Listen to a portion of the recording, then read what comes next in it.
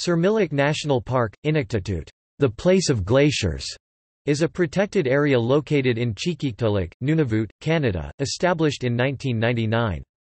Situated within the Arctic Cordillera, the park is composed of three areas, most of Bylot Island with the exception for a few areas that are Inuit-owned lands, Oliver Sound, and Baffin Island's Borden Peninsula. Much of the park is bordered by water. Geographically, it is representative of the northern eastern Arctic lowlands natural region as well as parts of the Lancaster Sound marine region. Sirmilik is part of the National Parks of Canada.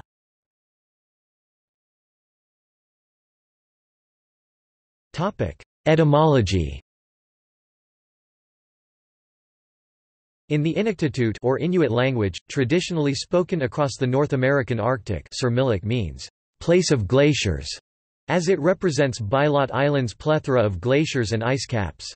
As Canadian Arctic Inuktitut speakers referred to northern Baffin Island as Sirmilik, the name of the geographic region became the name of the national park.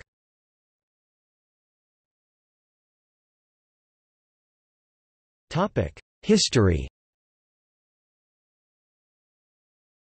Extensive archaeological exploration of the park area has indicated that the area has been inhabited by humans for thousands of years. The earliest known are predecessors of the modern-day Inuit. The area was explored by European whalers and by explorers in their search for the Northwest Passage. In the 1610s, the area was surveyed by British explorers William Baffin and Robert Bylot. They named several features of the area including Lancaster Sound and Bylot Island in 1616. It was 200 years before the next official attempt to find the passage through this area. The expedition by the British explorer John Ross in 1818 confirmed the accuracy of Baffin's charts, but ended when he saw what he believed were mountains blocking the end of Lancaster Sound.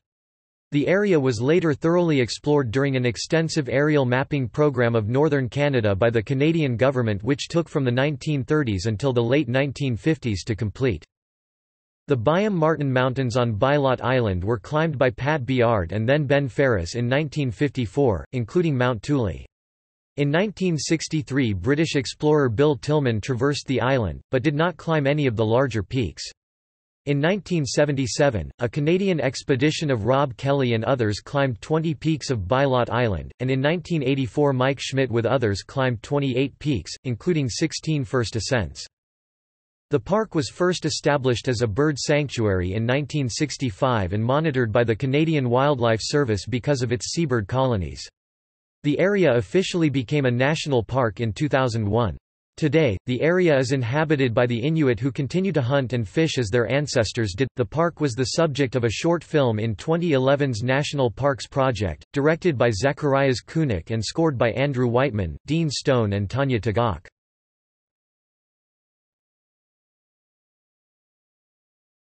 Topic: Geography and climate.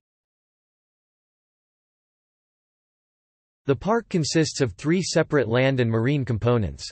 These are Oliver Sound, located to the south of Pond Inlet, characterized by a long narrow fjord flanked by towering cliffs and glaciers, the plateau and river valleys of the Borden Peninsula and Baillarge Bay, and finally Bylot Island, characterized by its rough terrain with mountains, coastal lowlands, icefields and glaciers.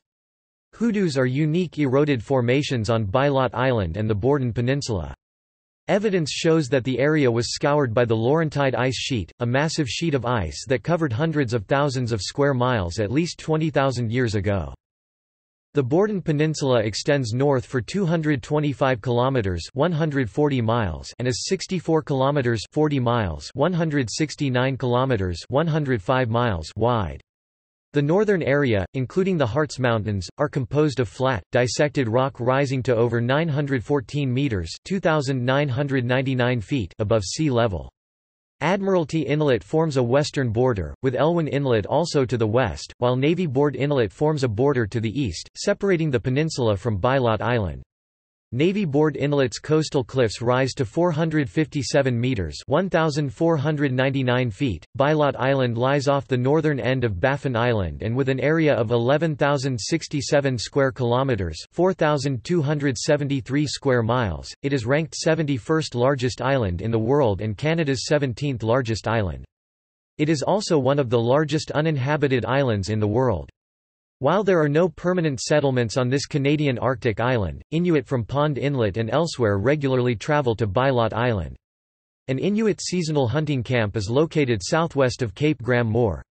The Byam Martin Mountains extend from east to west across Bylot Island and are an extension of the Baffin Mountains which in turn form part of the Arctic Cordillera mountain system.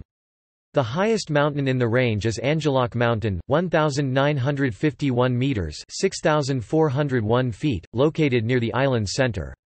The Byam Martin Mountains are made up of Archean amphibian igneous crystalline rock and Proterozoic metasedimentary and metamorphic rock, such as gneiss. Sharp peaks and ridges, divided by deep glacier-filled valleys are typical features in the range and has been extensively modified by glacial erosion. Extensive glaciers dot the island including the Koparoktalik Glacier. Vertical cliffs along the coastline are made up of Precambrian dolomite. The island's north shore faces Lancaster Sound, a polar bear maternity den area, also noted for its high concentrations of marine wildlife. To the northeast of the park is Baffin Bay and to the south lies Pond Inlet and Eclipse Sound. In the north of Baffin Island, there is a polar maritime climate which means long, cold winters and short, cool summers.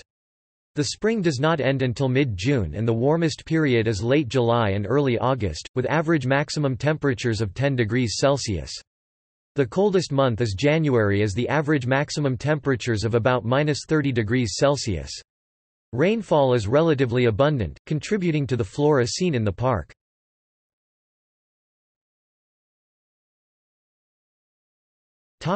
Fauna and flora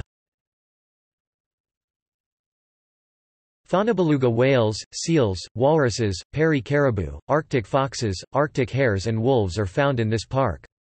Bylot Island is a migratory area for narwhals. Sirmilik is one of eight Canadian national parks that contains polar bears. A major seabird colony is located in the area of Baillarge Bay. Seabird colonies are also located on Bylot Island which have a large colony and nesting area of greater snow geese. More than 70 species of birds have been recorded here, of which about 40 are known to breed. The park is known to be an important bird sanctuary. In 1965, Bylot Island enclosed within the park was also declared as a migratory bird sanctuary, in view of the large number of migratory birds in the area. A record 100,000 birds are reported to pass the park during summer months every year, and the large geese population of the island is known to constitute the most abundant herbivores of the island. On some of Bylot Island's rugged cliffs within the park, thousands of nesting birds can be found including 300,000 thick-billed murre and 80,000 black-legged kittiwake. Florith wetlands of the park 10% of the area have abundant vegetation of water sedge Carex aquatilis, white cottongrass Eriophorum scheuchzeri and tall cottongrass Eriophorum angustifolium. Other types of grass include the Fisher's tundragrass Dupontia fisheri, the polar grass Arctagrostis latifolia and semaphore grass Pleuropogon sabinae. In addition, several species of brown moss have been recorded. In the Arctic environment of the southern part of the island 360 species of plants have been documented, which are considered to have rare quality and productivity. Vegetation in the upland on hill slopes and terraces which constitute 90% of southern drier areas of the park consist of forbs, such as Arctic heather Cassiope tetragona, mountain avens Dryas integrifolia, Arctic poppy Papaver radicatum and mountain sorrel Oxyria digyna, grasses, such as polar grass Arctagrostis latifolia, northern foxtail Alopecurus alpinus, bluegrass Poa arctica and northern wood rush Luzula confusa and shrubs, such as Arctic willow Salix arctica and northern bilberry Vaccinium uliginosum.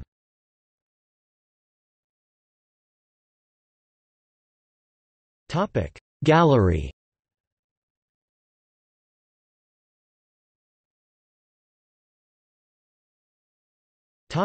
See also List of protected areas of Nunavut